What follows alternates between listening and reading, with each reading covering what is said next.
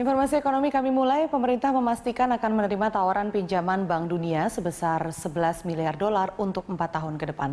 Pemerintah menjamin akan menggunakan pinjaman itu sesuai kebutuhan pembangunan.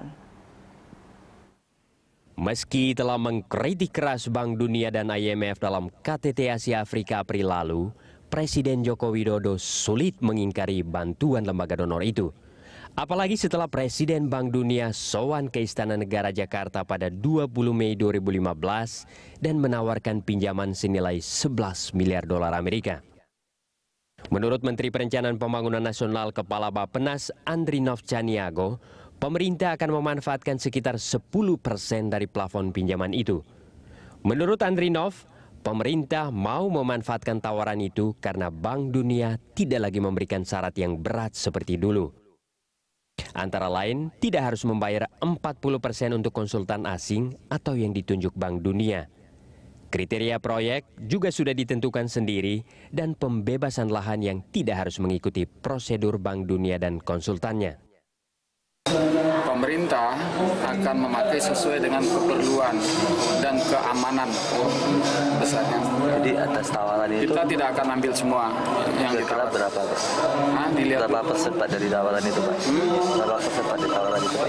Um, tahu paling 10 persen kalau kira-kira. Itu fokus untuk apa Pak? Uh, banyak kalau, kalau untuk apanya banyak. Untuk, untuk yang yang nggak bisa dibiayai oleh swasta harus negara yang membiayai.